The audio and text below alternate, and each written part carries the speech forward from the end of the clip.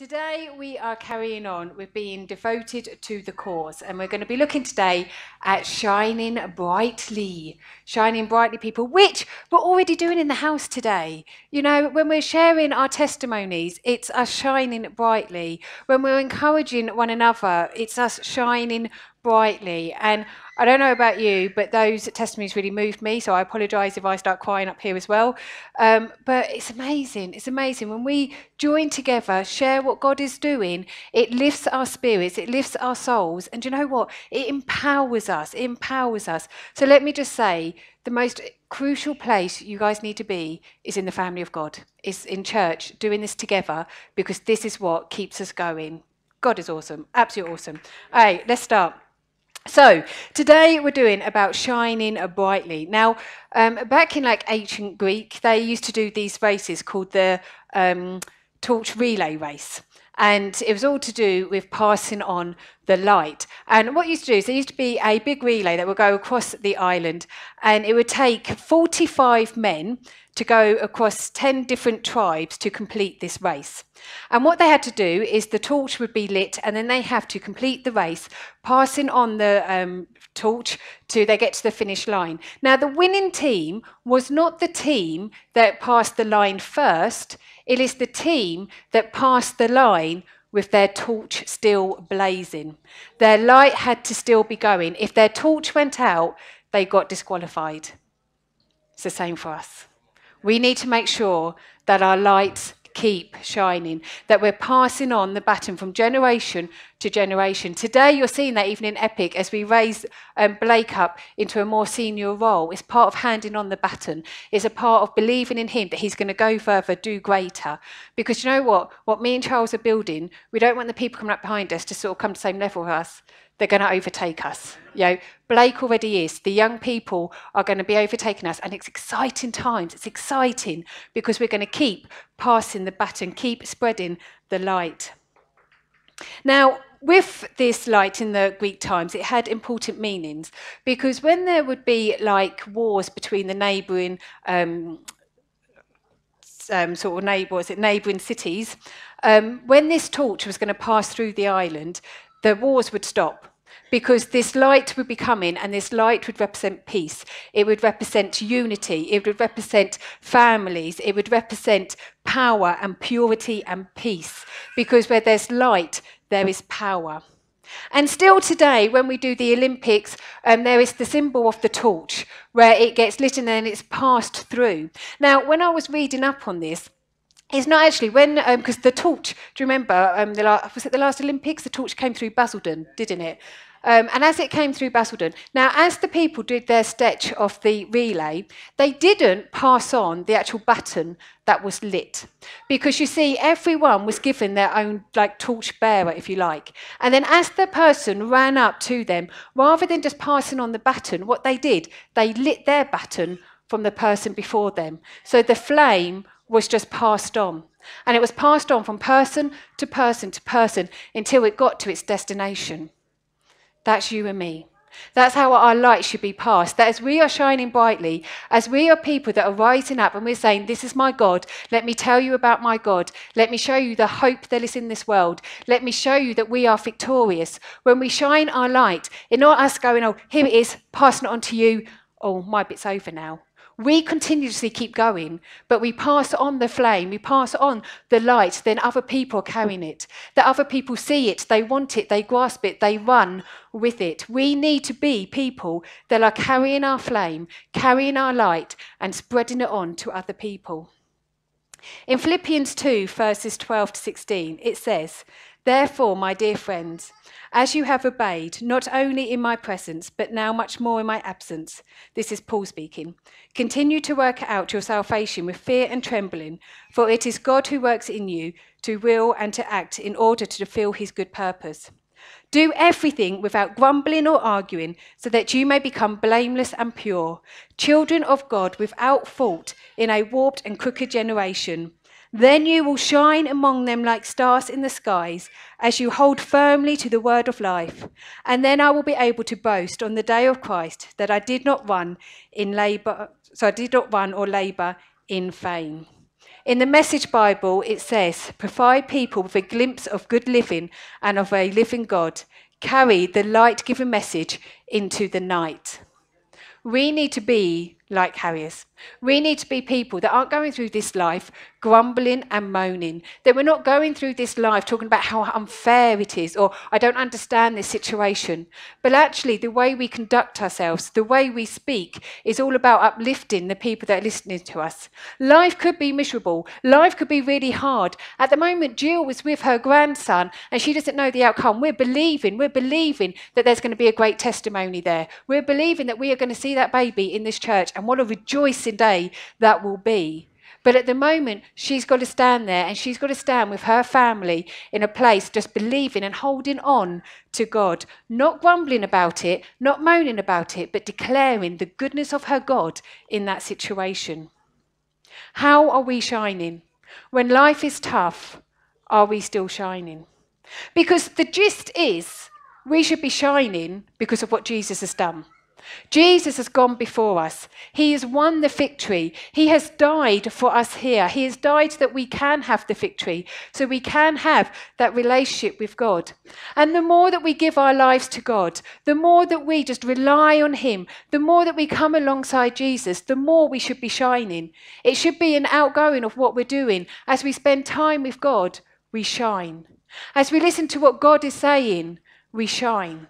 Because then our source of energy, our source of sort of understanding isn't coming from the situations in this world, but it's coming from Jesus. It's coming from our source. It's coming from our Creator. And that's what's going to keep us shining when this world just seems so gloomy.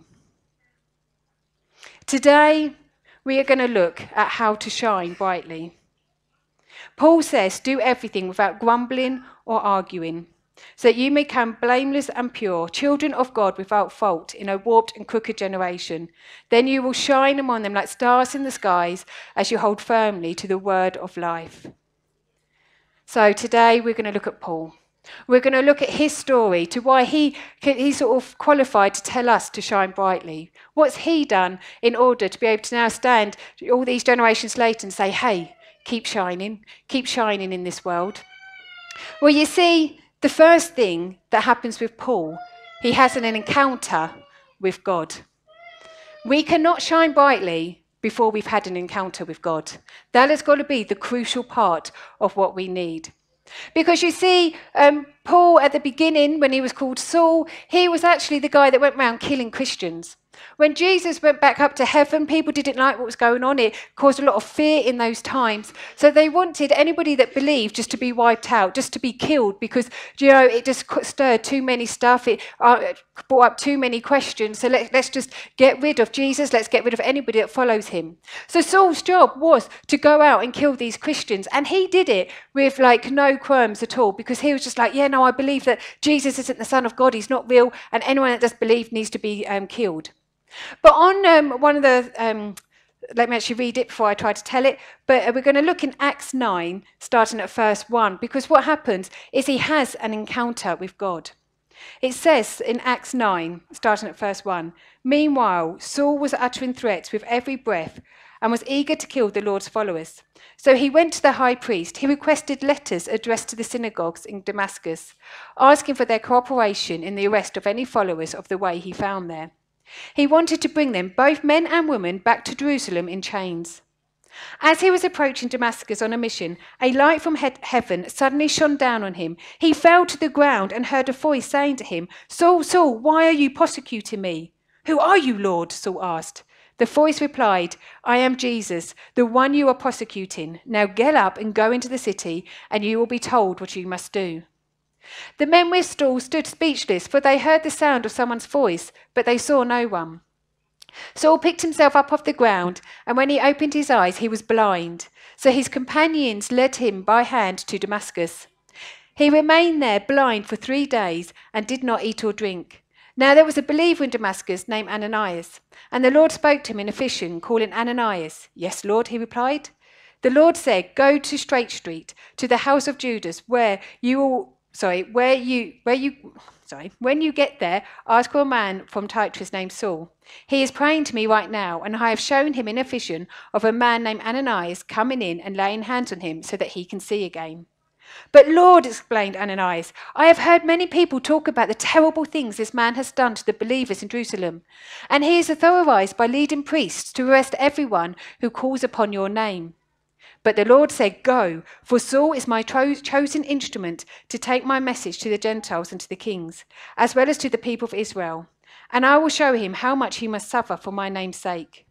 So Ananias went and found Saul. He laid his hands on him and said, Brother Saul, the Lord Jesus, who appeared to you on the road, has sent me that you might regain your sight and be filled with the Holy Spirit. Instantly, something like scales fell from Saul's eyes, and he regained his sight. Then he got up and was baptized. Afterwards, he ate some food and regained his strength. So here, Saul is also Paul. They are the same person. And Paul has this encounter with God. He's got one mission to start with to kill every believer. Then he has an encounter with God. He has this moment with God where all of a sudden all the evil desires in him, all the wicked ways in him are killed because of an encounter with God. The man is changed. Everything about his life has now changed. There's not one bit from his past that's coming over because he's now realized the truth. He's now seen that Jesus is who he claims to be. He is the Son of God. He is the hope of this world. And now he wants to tell people. He wants to get out there. He wants to build churches. He wants people to know how amazing and mighty Jesus is. He had an encounter with God. And it's from that encounter that he could now start shining. He could now start saying to this world, hey, listen up. Hey, listen up. Have you heard? Have you heard about Jesus Christ? We must be people that encounter God, that know who God is. If we're to be a shining light, to show this world just how mighty and faithful our God is, we must first encounter him. Now, some of us here, we might never have encountered God. And Mary Ann, when we did communion, um, encouraged you guys that if you don't know Jesus, that you start a relationship with him. Because let me tell you, I've been a Christian now for many years. I could actually know how many years it's been. But I've been a Christian since I was about 12. I am now 39. Um, so you can do, work out the years yourself. But in those times, you know, it's not all been um, easy sailing. There have been challenges, but I know that I know that I know God. And I know that He is my hope in all situations. And I know that no matter what this life throws at me, I can carry on standing. And because of that, when trials come, I can shine. When trials come, I can stand and I can show this world how powerful our God is. Because first we must encounter Him.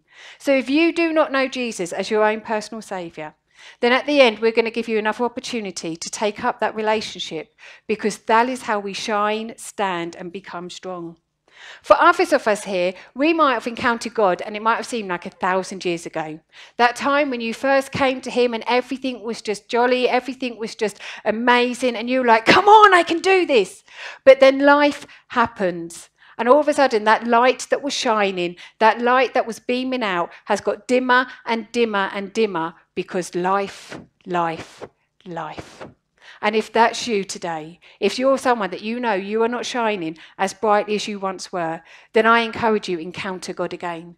Because do you know what? In Psalm 139, we are told that we cannot count how many times a day God's thought turns towards us. We are his precious creation. We don't just encounter him once and then he goes, oh, I'm going to go and work with somebody else now. Daily, daily we can encounter God. Daily we can go into his throne room. We can spend time with him. We can get restored when we spend time with him. We can be empowered when we spend time with him. If we want to shine brightly, we must encounter God, not just as a one off, but on a daily, daily occurrence where we just rely on him and shine brightly because of him. So, Paul, the first thing Paul did is he encountered God. The second thing that we can learn from Paul is that we must shine despite what other people think, despite what other people are saying about us, despite the expectations that other people put on us. When Paul first um, started believing, of course, he had this big desire to now start telling people to encourage other believers. But you see, the other believers, they've all heard about Saul. They've heard about this guy that's killing Christians. They've heard about this guy that's coming into their town to arrest them. And now all of a sudden, this guy wants to talk to them. This guy is saying, Oh, I believe, come and talk to me, let me encourage you. And they're all like, It's a trick. It's a trick. He doesn't really believe. This is trying to get us to come out into opening so he can arrest us, so he can kill us. People knew the name and decided who he was. But then other people had to come in and say, no, he had an encounter. He had an encounter with God. He met God. He knows God. Listen to him. People will make up their mind about us. They will decide whether we're right or whether we're wrong. They will decide whether we're good at something or awful at something. I don't know about you, but I hate it when people come up to me and go, Oh, aren't you supposed to be a Christian? Or, Oh, that's not very Christian, is it? At those moments, I would just like to slap them and say, Do you know what? Just move on. But you can't do that. Because, in fact, in all situations, we need to shine and be an example to God. When people are doing our heads in, and they will, that we still keep shining that we do not let this world crack us from who we're supposed to be. We do not let this world bring us down because we're shining brightly, because we know who we are, despite what other people are saying about us, despite what other people may believe about us, that we stay true to who we are. We don't let the past have a voice.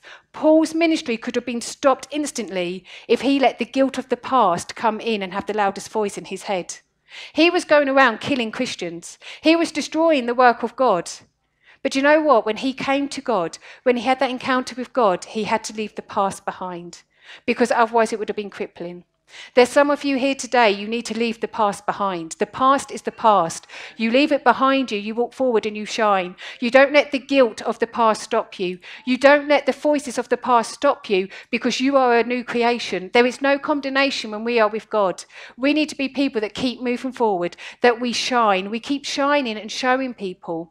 And what Paul had to be, he had to be constant because at that point, people were watching. They were watching for him to slip up, they were watching for him to get it wrong wrong so they could go, ah, oh, told you so. But he had to be somebody that stayed true to what God had now shown him, that stayed true to the calling that God had put on his life. And he had to be somebody that was constant in all seasons. We need to be constant in all seasons. We need to be people that when life is absolutely marvelous, that we shine loud and bright and we share that. But then when our world seems to be crumbling around us, that still we carry on shining. We still talk about the faithfulness of God.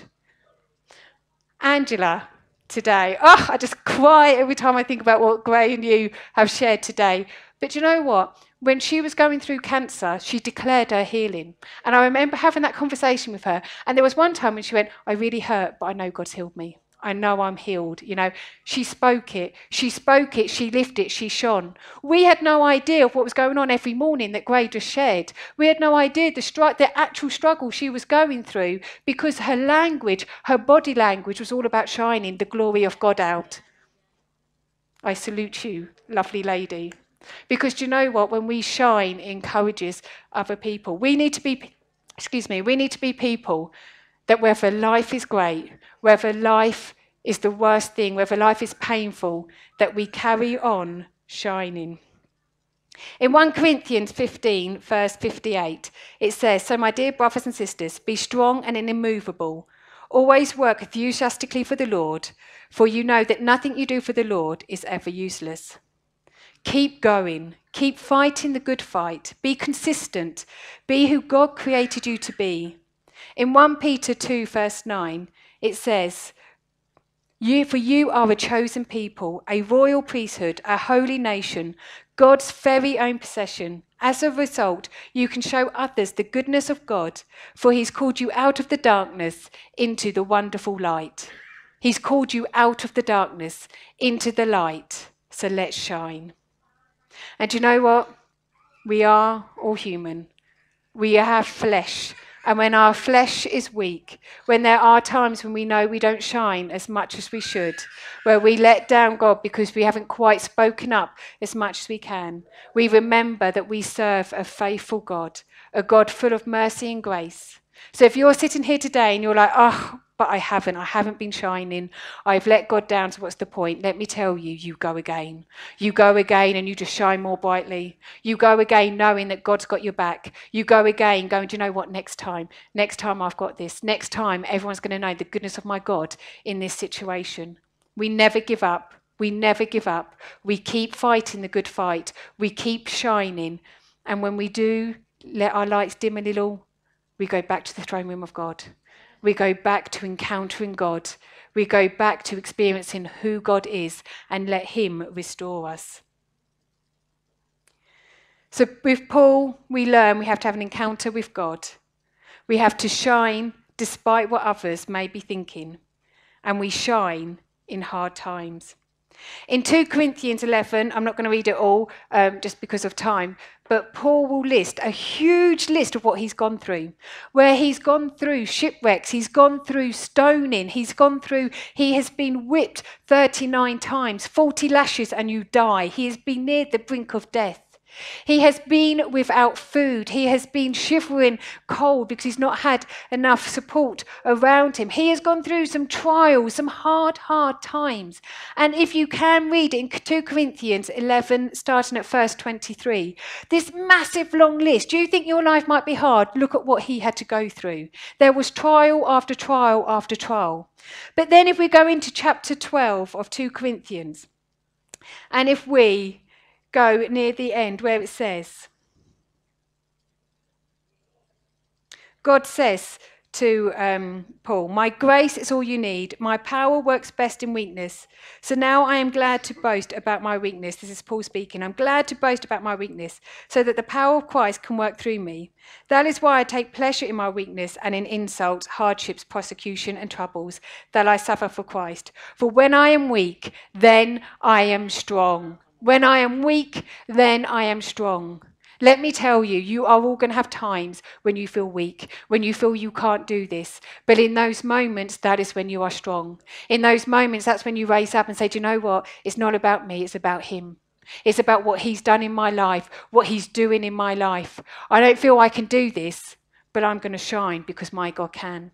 Because with God, I can do all things when we encounter God, spend time with God, get to know God, He enables us to do far more than we can even imagine. I never, ever, ever dreamed that I would be a preacher standing up and talking to people because I spent so many of my um, younger years believing I couldn't even speak properly because of being orally dyspraxic. Yet God did something in me, and here I am today. And I will shine because the testimony of God in my life. We need to be people that will rise up, that will shine. In hard times, how bright do you shine? Are you somebody that as your life collapses will still say, but God, but God? Or are you somebody that says, where's my God? Because you know your focus needs to be in the right place. Rather than looking at what you haven't got, rather than looking at you know, the fact that you think God is a trillion miles away, remember remember that God will never leave or forsake you. You go back to having that encounter with God, to the promises of God, and you stand strong. You stand strong knowing that He's got you. When you are criticized, when you are jobless, when ill hits your family, keep shining because in your weakness, you are made strong. In Matthew 5, verse 14 16, it says, You are the light of the world, like a city on a hilltop that cannot be hidden. No one lights a lamp and then puts it under a basket. Instead, a lamp is placed on the stand, where it is given light for everyone in the house. In the same way, let your good deeds shine out for all to see, so that everyone will praise your heavenly Father. Do you know you carry the reputation of God? You carry the reputation of his home, of the church, wherever you go. How are you shining it out? What God are you showing? What reputation are you giving God? When the voices of other people stop us shining, when fear of expectations, of not living up to expectations, stop us shining, when hard times stop us shining, we're hiding our light under a blanket. And you know what? There are too many children of God, incredible children of God, that are hiding their lights. We cannot live that way. Now, not that long ago um, at Epic, I did an illustration which I'm going to repeat to you guys tonight. Lovely Tamara, come and help me. Look at the joy on her face. Thrilled to be coming up. We see it. It's a lovely face. Look at this. Hey, this is our lovely Tamara, and um, I just want you to help me, similar to what we did um, on that Friday. Now, when we hide our, bla- our lights, when we sort of put them under a blanket and we stop being who we are because there's fear of other people, what we're doing, we're masking who we truly are. So let me just put this lovely mask on you. Looking good, doesn't she? And you know, there's too many, can you see? There's too many children of God that are going round masked. Because you see, rather than shining our lights, rather than standing up in a world that will keep trying to knock us down, in a world that will bring different trials about how you should be living and what you should be doing and what you should be thinking, as children of God, what we've done is we've masked ourselves and we've gone, oh, oh, I'm, I'm just going to keep safe. I, am just going to step back and I'll, I'll, pray, but from back here, and, you know, may, may God do something. But we're not shining. We're not speaking up. We've lost our voices because we're too scared about what, sorry, we're too scared about what people may think. We're too scared about what the outcome may be. What if we declare the goodness of God and then nothing happens? What if people start saying, Oh, yeah, but I remember when you did this and I remember when you did that? And all of a sudden, the power that in us is just gone and we mask ourselves and we say, No more. I, I just want to be safe. I just want to get through this world. So we hide behind our masks. We don't shine out our beautiful faces that God has given us, the beautiful light that He's put in us. We are incredible, incredible human beings I know this because God created us. I know this because God has put something special in every single one of us. In Ephesians, we're told about before He created anything, God thought about you and me because of how amazing we are. We are not created to be hidden behind masks. We are not created to hide away and say, Oh, I just hope it all turns out. But actually, we're called to raise up. We're called to shine our light. The masks that we're hiding behind, they actually have to come off and they need to go. They need to be ripped up and they need to just be totally and utterly gone because this is who we're meant to be. We are meant to be mighty warriors for God. We are overcomers. We are victorious. We can do this because of our God. So when we mask ourselves, we take the power away from ourselves. We are actually, we put the mask there and we think, oh, this is my security. This is my protection. But the mask actually is your biggest limitation. Because when you do not shine for God, when you do not let God work through you, you are totally and utterly robbing yourself and this world of who you can be. You've been marvelous. Thank you very much. You can sit back down. Let's be people that shine. Let's show this world how mighty our God is. I challenge you, I dare you, in fact, that the next time you're out and you see something, try to bring God into a conversation. Try to tell somebody about who your God is. It could be that you start telling your story. Now, Youth for Christ, when they're sort of talking about how to evangelize, they say that first you listen to somebody's story, you show interest in them, and then you share a bit of your story, and then you tell his story. And the rest is history. Clever, isn't it? but we need to be people that we're shining. We need to be people that are not hiding behind masks, but in fact, we raise up and we show this world there is hope, there is grace, there is love, there's unconditional love, there is acceptance in God if only people know about it. Be people that are going to change this world by shining your light. How are you shining today? Does anybody know where you are right now? Do they know that you come to the house of God? Do they know that you follow God? Or do they think that you're just down the pub or you know, having a walk somewhere? What is it that you're showing in your life? What is it that people think when they first think about you? What will be the first thought they come to their head? Somebody that's angry and bitter, or somebody that's always there? What light are you shining? Because do you know what? You have got an immense, incredible light that needs to be shone out. Only you walk where you walk. As a church, we can't all reach the people in the hospitals, the people in your schools, in your workplaces, in your families. But where you walk, where you tread, that's where you shine. That's where you take God. That's where you take the um, forgiveness of God when it's needed. You take the grace of God when it's needed. You speak life into situations that seem so dire because you carry on shining. Be people that will be world changers. Don't follow the trend of just going along with everything and going, ah, okay, but be the trendsetters. Shine your light, make a difference. I'm going to ask the worship group to come back up. And I want us to um, pray for a couple of people today. Now, if you are somebody here and you've not encountered God, and you're like, do you know, what I don't, don't know what this is about, then I urge you, encounter him. Come and know who he is. Come and know who he can be personally for you. And if you're somebody that you're like, oh, I encountered God, but it was like a thousand years ago, it was like a past life, it seems about. If you're somebody that's not encountered God on a daily basis, somebody that, you know, your light has dimmed because time has gone, then all I want you to do is I just want you to raise your hand. And then what we're going to do is at the end, I will come and find you and we'll just talk it through and we'll pray for you. But if you're somebody here that you know your light just needs to be relit a bit more, you need to encounter God that more, or you need that first encounter with God, just simply raise your hand. And then for the rest of us here, some of us, we're behind that mask. We're behind that mask and we're hiding. We cannot afford to be hiding anymore. So, what I want to do as we start singing the next worship song, when the music starts, I encourage you all to stand up and just enter in, encounter God.